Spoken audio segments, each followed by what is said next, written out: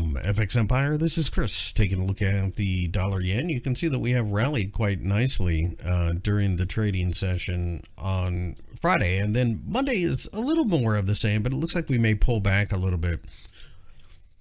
Somewhere around 147 and a half and then 145, both are areas that I think we would see a lot of support.